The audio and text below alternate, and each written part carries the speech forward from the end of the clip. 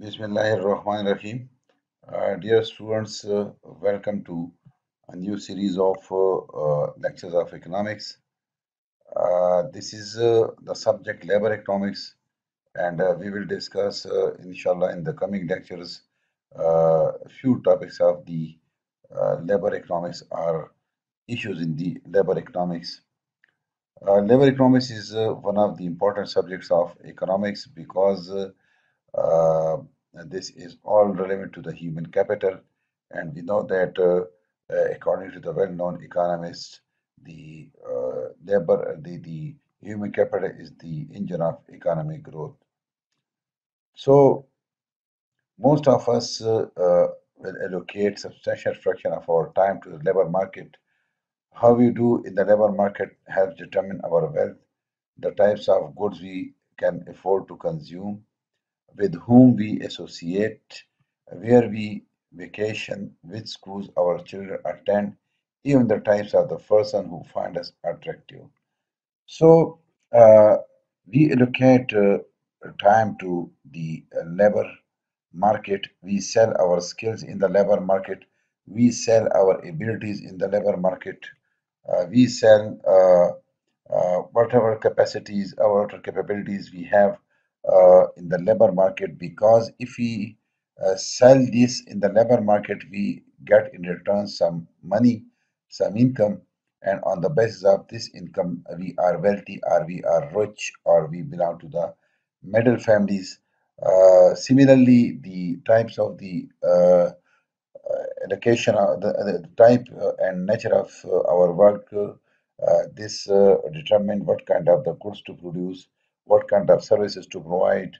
Uh, similarly, uh, if you want to have a vacation in some hill station, uh, which I often tell you uh, in the classes that I am interested in the vacations.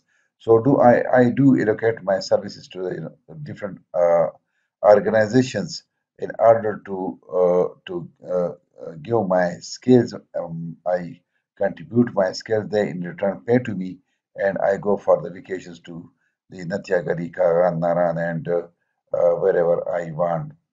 So this means that uh, uh, all our efforts, uh, these are uh, uh, relevant to the labor market. So, labor, the labor economics actually studies how labor market work. Our interest in the labor market arise not only from our personal environment, but also because many policy issues concern the labor market experiences of particular groups of workers or various aspects of the employment relationship between workers and firms.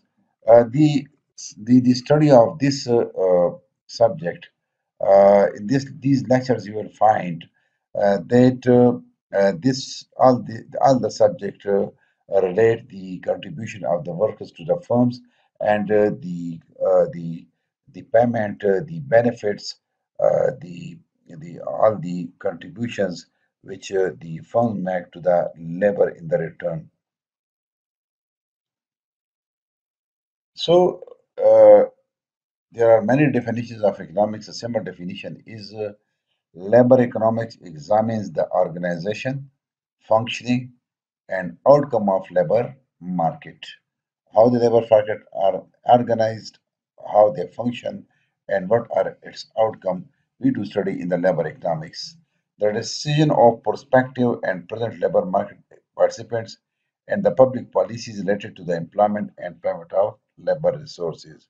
So, what does it study? It study uh, the organize, organization of the labor force, the functioning of the labor force, what kind of a contribution they make, and uh, uh, outcomes of the labor market. Similarly, the uh, how much uh, labor to employ, how the wage are determined in the market, how different uh, labor uh, types of the labor contribute, uh, what uh, the different age groups contribute, is there any gender discrimination in the labor market?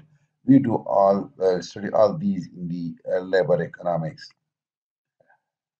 So uh, we can say labor economics is the study of working and outcome of market of labor.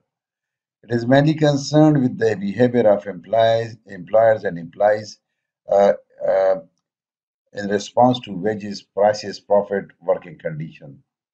Students, we are discussed in the last slide that uh, whatever do study, this is uh, the uh, policies, the labor, and the firms. So, in short, we can say that the labor economics uh, do study the relationship between the employers and in employees uh, for the uh, determination of the wage rate, the prices, the profit, and the working conditions. We will study in the uh, coming lectures uh, that uh, the um, uh, the the labor do uh, do do the labor uh, through the labor unions they do bargain with the uh, firms for the wage determination for the employment and for the uh, other benefits so the labor economics is the study of the relationship between wages and employment opportunities the interaction among wage, income, and decision to work. They do decide how much to supply, how to increase the demand of uh, the labor, how to increase the wage rate, how to fix the wage rate. Uh, all these are determined by jointly by the employers and the employers. The way wages, prices, and profit affect occupational choices is studied in the labor economics. Similarly, labor economics do study the incentives for and effects of educational and training investment. We know that different uh, uh, organizations they educate their labor, they give training to their labor, especially uh, those, uh, especially those uh, organizations. Where do we find uh, the the uh, the skilled labor when the new labor come to them to join the firm they send them for the training or if the uh, sometimes the machinery is updated the equipment is updated the capital updated then there is need for the training so we do study all this the labor economics the effect of uh, the unions on wage productivity and turnover uh, we have uh, mm, uh, a chapter uh, a lecture in the coming uh, days in which we will study the labor unions and their role in the wage determination, the productivity, and how turnover takes place in the labor market. The effect of the social policies on the wage and employment. Uh, it implies the environment of workers uh, and employers uh, through their organization and the government information and application of policies in shows economic, social, and labor uh, fields. Labor economics studies the demand and supply for the most important factor of production, the human beings. How much uh, uh, labor to supply, how much uh, labor is demanded. Uh, this is done in the labor market, and all this is studied by the labor economics. Uh, uh, we will study how what is the demand for labor, who demand the labor, and who supply the labor. So, and how equilibrium is uh, determined in the labor market and how this what what what it, what are the outcomes of this equilibrium since the days of the Merton and of Smith, if not earlier, the economists have recognized that one cannot analyze the market for labor without taking into account uh, such issues as social relation of production, long-term contractual agreements, arrangements, a problem of the effort and motivation, as well as institutions like unions and internal labor markets, which differentiate the labor market from uh. Uh, for many years, recognition of the, these factors made labor economics an area in which the economic theory was applied uh, sparingly uh, and in the which the institution analysis dominated. So the students we do study in the labor economics uh, uh, uh, how the firms contribute to the labor, how the labor contribute to the firm, how long the market is determined the labor market, and how short term um, is the determined in the uh, labor market, how wages are determined, how the supply of labor is fixed, how the demand for labor is uh, fixed. Uh, according to the uh, Chakraborty, the term labor may refer to employment of any kind, Manual labor, physical work done by the people, or wage labor, delivery of services by persons for payment. So Chakraborty defines uh, labor uh, as any kind of the employment which may be uh, the work done, physical work done for the production of the goods or the provision of the services. So in economics, labor is a measure of work done by human beings. It is conventionally constructed with such factors of production as land and labor.